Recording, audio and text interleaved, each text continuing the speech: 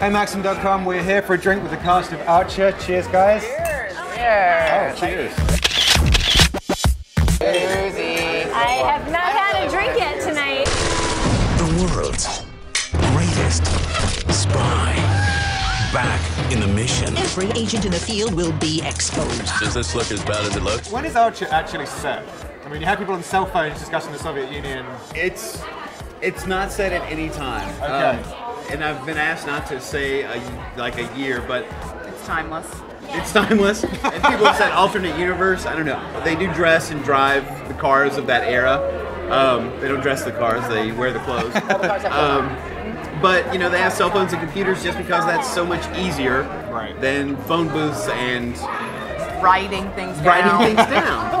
What a waste of time. So the, the show's been described as James Bond meets Arrested Development. Is that a fair assessment? There's the I think so. there a bit. Yeah. Yeah, maybe. That's how I pitched it, actually. Final question. What is your favorite curse word or phrase? The most useful, I think, is fuck. If you're Right. going for color to really, if you're arguing with somebody, but the most useful one that I use rolls off the tongue. all the time is, is fuck. When I get really angry, I always say, "Cuck sucking son of a bitch." That's a good one. It really just That- gets it out. That rolls out. Yeah, yeah. I actually was gonna say that I feel like cocksucker is a really. It's nice. It's a. It's like a vintage, it's like a classic, like a good suit. Mm-hmm. But I do use the word cunt quite a bit, and I like the word cunty because it's cute. Yeah. You know what I mean? It's jaunty, cunty. My PG, if I'm around children, is the holy buckets. Holy buckets. That's good. and then what's I'm your? like it like holy buckets.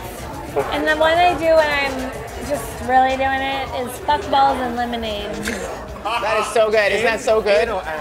And And fuck like a- balls and lemonade. like a like a glass of lemonade with frozen fuck balls just floating in there. balls to and keep- lemonade. But keep the drink cold. On that bombshell, thank you very much, guys. Thank Have you great very night. much, Nick.